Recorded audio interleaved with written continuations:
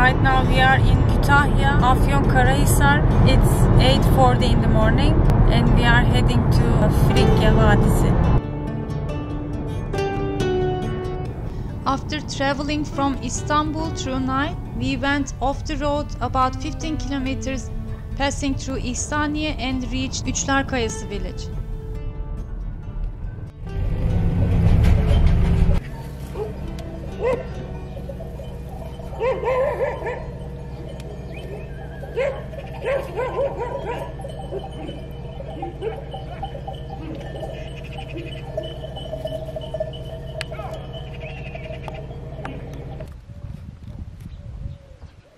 Şu anda Frik Vadisi'nin ana merkezinin olduğu yere geldim. Burada çok tatlı bir Demet ve ailesiyle tanıştım. Biz aslında buradan ayrılacaktık. Nereye geldik yolu yok, bir şey yok falan derken. Ama e, Allah karşımıza Demet'i çıkardı. Şimdi Demet e, biz neredeyiz? Ee, şu an Frikya'da bulunan Üçlerkayası köyündeyiz. Evet. Ee, buraları gezeceğiz. Ee, burada bir köy evi yapılıyor. Bunları gezeceğiz. Yani tek tek Frikya'da bulunan eserleri, anıtları gezmeye çalışacağız. Bu gördüğümüz olduğumuz mağara e, eskiden burası Frigyalıların yaşadığı bir yerleşim alanı. Ee, bir oğlan sevdiği kızı kaçırıyor ve hani bunu e, uzun aylar boyunca bulamıyorlar. E, o yüzden hani burasının efsanesinin adı Gelin Mağarası olarak geçiyor. E, gelenler buraya ziyaret edebilir, çıkabilir. İçerisi odaya dağılıyor ve kamp atılacak alan kadar büyük bir alan var. Çok güzel. Şurada ileriye de bakalım. So beautiful.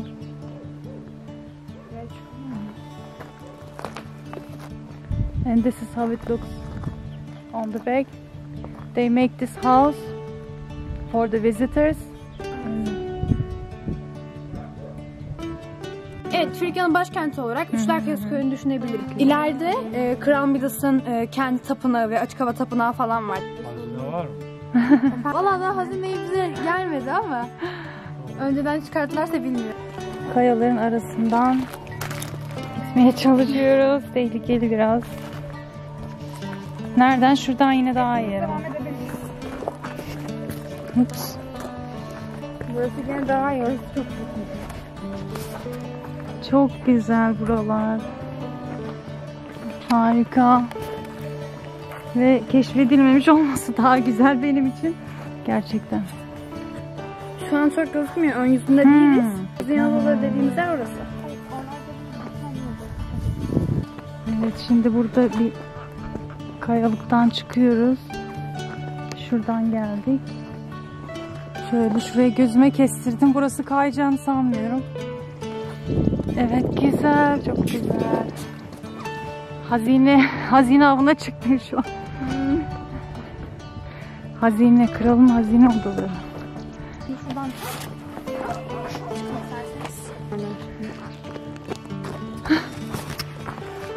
Eskiden buralar e, depo, depo ambar olarak evet, kullanılıyormuş. ha. Hani yiyeceklerini falan soğukta tutmak için oraya koyarlar. Evet.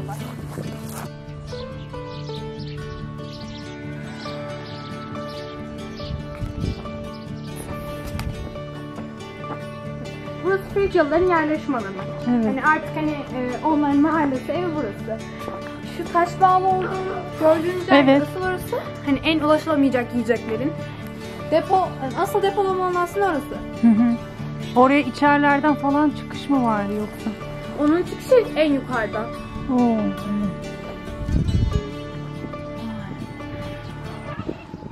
Bu oluşumlar, bu kaya oluşumları ne kadar devam ediyor ileriye? Sadece burada mı? Ee, hayır zaten Frikya tek bir bölgede değil. Hani Hı hı. farklı şehirleri kapsıyor ama Üçlerkayası köy adında ise hani daha ilerliyor. Bu sadece Kral Midas'ın hazine adaları olarak bahsettiğimiz mevki burası. Evet. Köyün ilerleyen taraflarında açık hava tapınağı ve e, kral ve kraliçenin taht koltukları olarak geçen başka mevkiler de var. Hı hı. Ay inanmıyorum güzel. Oyulmuş buralardan. Ee, buraların aslında hani biz birleşik olduğunu düşünüyoruz. Hı. Sonradan kopmuş gibi sanki. Ay şu an kayanın içindeyiz. Yani o deminki büyük şeyin kaya parçasının iç kısmı. Bölünmüş hali gibi. Evet üst üste zaten taşlar da var. Şurada da işte mesela o oyuklardan biri var. Bizim kendi yorumumuz bu. e, bir yeraltı şehrinin olabileceği ihtimal var. Normalde korkamdır. Şu anda hem çekiyorum hem dinliyorum falan derken öyle gidi gidiveriyoruz. Ha, yukarıdaki mağaralar var. Oraları da sanırım Evet. yerleşim alanları. Çok güzel, gerçekten harika. Evet arkadaşlar, yani şu an tam içindeyiz. Hem çekip hem e, buraların tadına varmak, e, görmek zor. Kolay değil. Ya kamerayı bırakacaksın, hissedeceksin. Evet. Ve mutlaka buraya geldiğinizde sadece ana yolu takip edip ben Frigya'ya gezdim demeyin. Arabanızı park edip yürüyerek gezebileceğiniz yerler. Kesinlikle, kesinlikle. Zaten yani bir yere bırakacaksın. Bence yarım gün geçirilebilir diye düşünüyorum. Şöyle yukarıları da gösterelim. Ee, burası da geldiğimiz yerler. Afyonkarahisar'a giderken Kütahya'dan bir 15-10 kilometre kadar içeriye girdiğin zaman. Evet ama hani bu zaten e, tek bir köy değil ama hani İsterni Üçler Kalesi Evet, köyüne evet. geldiğinizde kesinlikle hani durup gezebileceğiniz yerler. sıcak Gel nereden birer bardak geliyor? çay işte ondan sonra işine bak gel. Bismillah. Şöyle Filike köy evinde çay. Afiyet olsun. Hoş geldiniz hele. Teşekkür Yine ederiz. bekleriz inşallah. İnşallah. Çok Hadi teşekkür buyurun. ederiz. Maşallah. Köy Harika. evi. Frigya köy evi olmak üzere hummalı bir çalışma. Çok güzel. Harika. Çok doğal yapılmış. Tam zaten yerinde. Altı da şey midir? dikiş makinesi. Makinesini kullanıp üstüne masa Süper, yaptık. harika.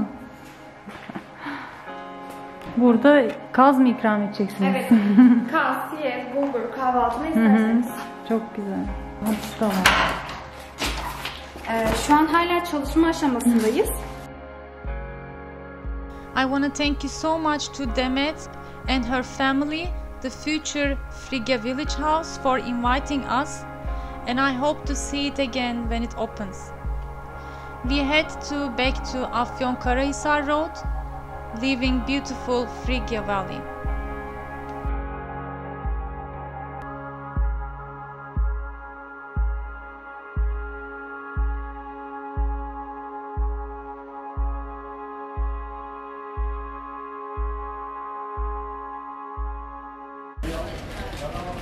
Şimdi otoparktan çıktım. Burada daha ilk durak bir e, Afyon bitmesine rastladım. Şöyle bir girip bakalım. Geldiniz. Sağ Nereden olun. İstanbul'dan geliyorum. Hoş geldin. Afyon bitmesinin tarifini almaya geldim. Tamam verin hemen tarifi. Biraz Ve de yemeğe geldim tabii elinden. Tabii buyurun oturun. Yiyin bir beğenecek. Al, Elime alayım çünkü Bakın, vaktim de dar. Kıymalı asıcığımız Bakayım. çok güzeldir. Hı Ağzı değil, Evet, özellikle evet. dana etidir. Bunlar bitmelerimiz mercimek, patates. Hı hı, İçine şunu pişirip haşlayıp koyuyoruz. Evet. Şurada kasperimiz efendim ocakta haşhaşlı hamurumuz. Haşhaşlı. Çok güzel. Mayalı mı hamurunuz? Hayır. Bunlar mayalı değil, sade hamur. Evet, evet. Mercimeğin içine baharat mı koyuyorsunuz Yok, sadece? hiçbir şey, Hiçbir şey. Tuz. Hı, Yani seven oluyor, Evet. sevmeyen oluyor. Peki şey soğan? Bu soğan da koymuyoruz. Onu da Hmm, isteyebilirim. bayağı sade. Evet. Bu da nedir? Peynirli mi? Peynirli ağzı açık oluyor. Hı hı, ağzı açık. E bu hamurunu nasıl yapıyorsunuz peki? Hamurunu da yoğuruyoruz. Un su tuz mu? Tuz, un, evet. Hı hı. E, peki şekli? o kadar olsa böyle güzel şey çıkar mı? Nasıl şey? evet. Arasını yağlı yani Evet, yağlıyorsunuz. İç yağı. İç yağ mı? Bildiğimiz iç Yemek yağ. yağıyla iç yağı Hı hı, karıştırıyoruz. hı. Birazdan tatacağım. Pişmiş hali. Yağlı mı bekliyor? Evet yağlı bekliyoruz. Hazırlıyoruz, dolaba koyuyoruz. Ondan sonra açıyoruz. Sonra kaplama yapıyorsun. Kaplama, Bir daha mı bekliyor? Aynen. Ondan sonra açıma hazır oluyor. Bekliyoruz. İki patelli. Ben vereyim burada. Yiyorsan mercimek ver baba. Bunlar da sıcak abi. Hep sıcak. Bir mercimek, bir şey kıyma. Ağzı. Miyim? Poşet gel. Ne kadar? Patates aldım.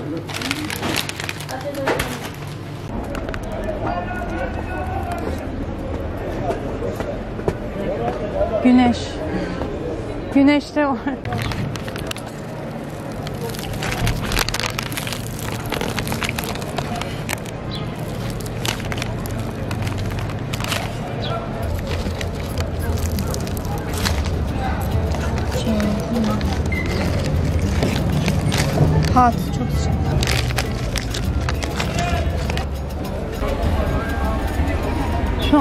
Cami'ye doğru yürüyoruz.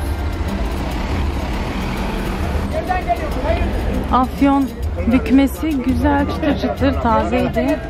Tabii fırından çıkınca ilk. Ama e, tuzsuz geldi. Baharatı da yok.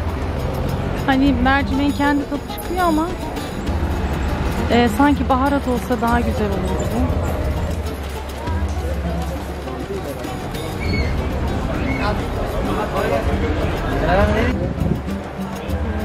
Sucuk varsa afyon sucuğuyla meşhur. Her yerde var.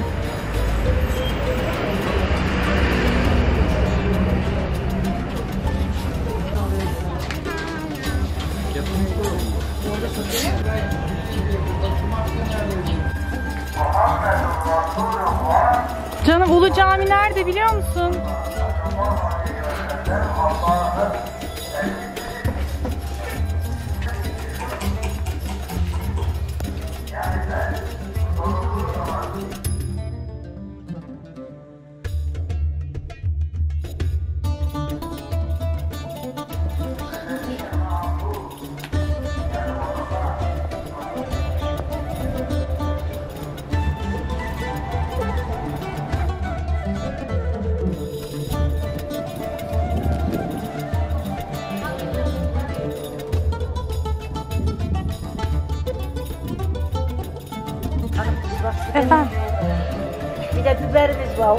Nerede?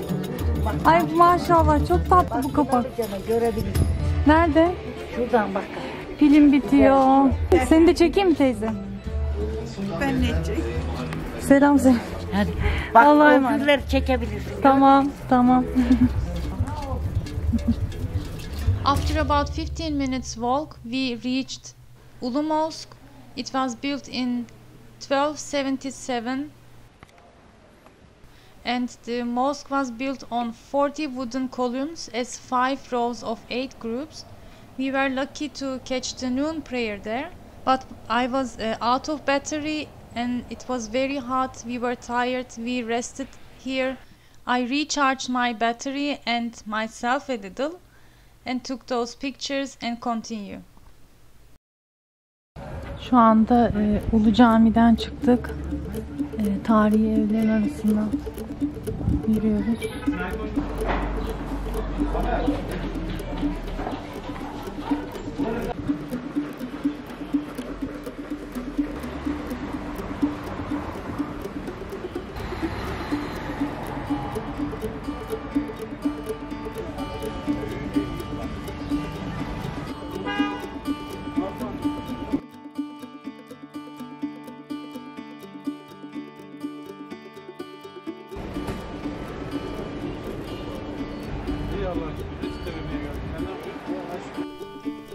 After that, we went to uh, the History of Culture and Art House.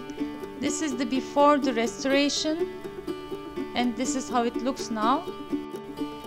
Uh, one of your comments you asked me about the Turkish traditional houses that has separate entrance for women and men.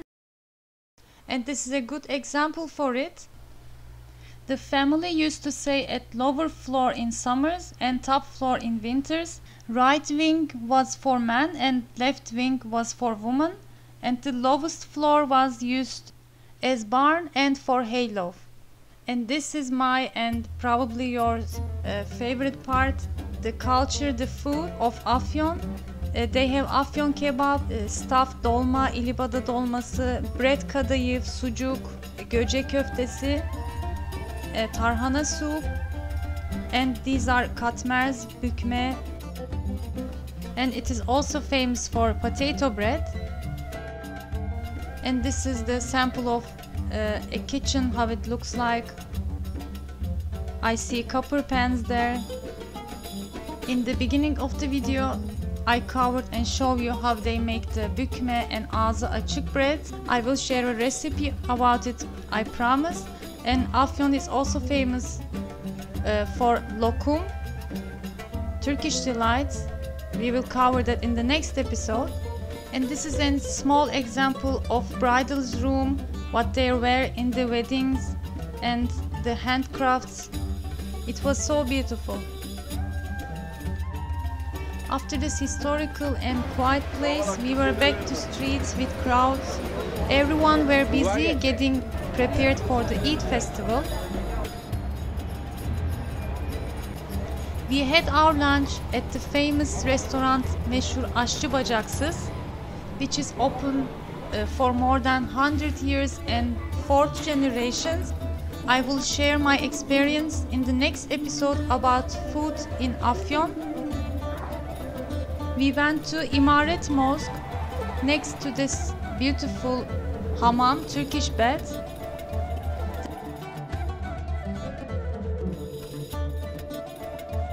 The mosque was built at uh, 1472 by one of the viziers of Sultan Fatih Mehmet. It has this beautiful minaret which has blue patterns on it. Was so beautiful and calm inside. You can spend some time here too. I will put all the information links, the places I visited in this video you see in case you wanna visit Afyon in the description box below. I hope you enjoyed watching with me in this first episode of Afyon visit. And don't forget to subscribe if you haven't yet.